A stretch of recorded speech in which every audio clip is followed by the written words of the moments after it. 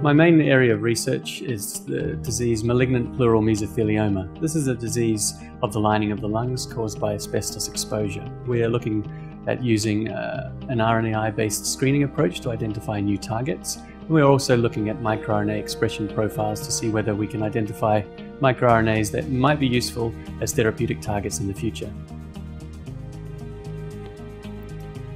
The cells we typically transfect here in the lab are those derived from tumours from mesothelioma patients. These tend to be those cells that grow in uh, adherent culture.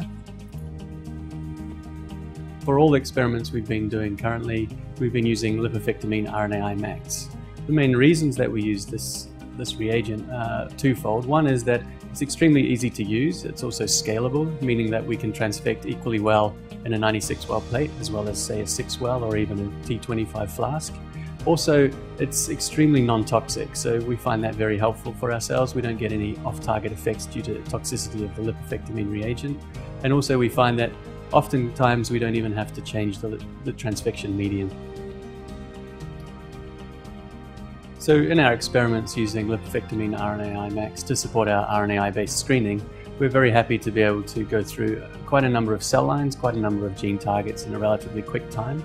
And because lipofectamine RNAiMAX in our hands works really well in 96 well reverse transfection experiments, we quickly came to a set of very good candidate genes for further investigation. We'd definitely recommend it to colleagues and other people interested in transfection. And again, this is based on the reasons why we like it ourselves. First, that it's very easy to use, very scalable, and also that it is extremely non-toxic, at least in our hands.